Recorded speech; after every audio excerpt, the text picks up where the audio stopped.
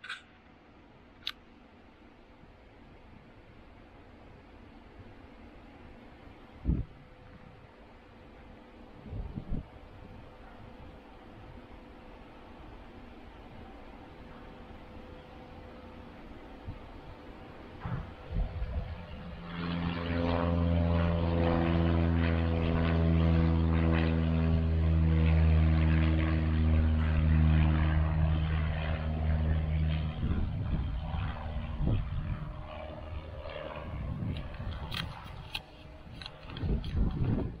Hello internet friends and fellow aviators.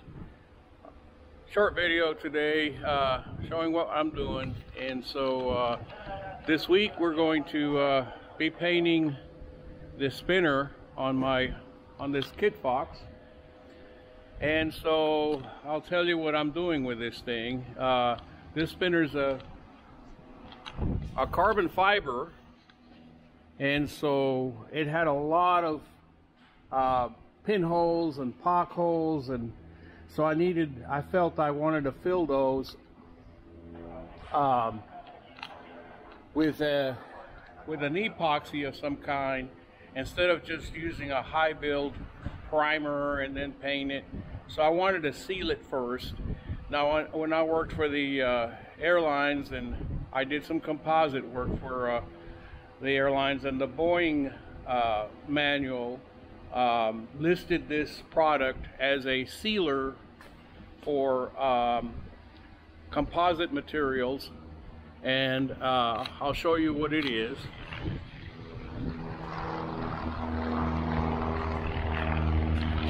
It's uh, 3M epoxy adhesive Scotch Weld EC1838BA green, two tubes.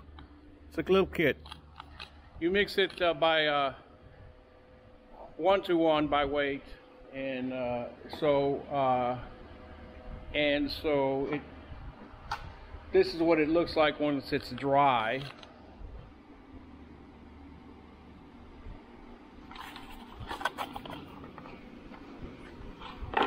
Dries dries pretty good. So here's uh, I put a very light coat using a very light coat.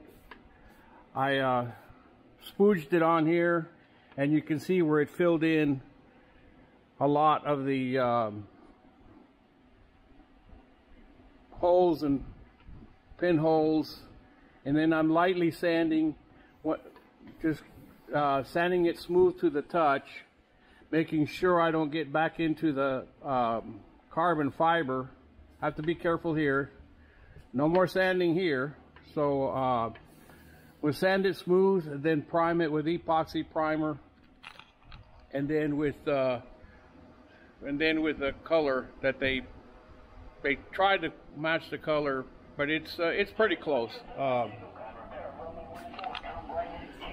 th this is the old spinner on the G that it had the GSC prop, and uh, this is the color. It's it's very close, and so uh, that's the color it's going to be.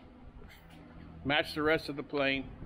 And so um, once once that is done this this week, I'll probably start with these uh,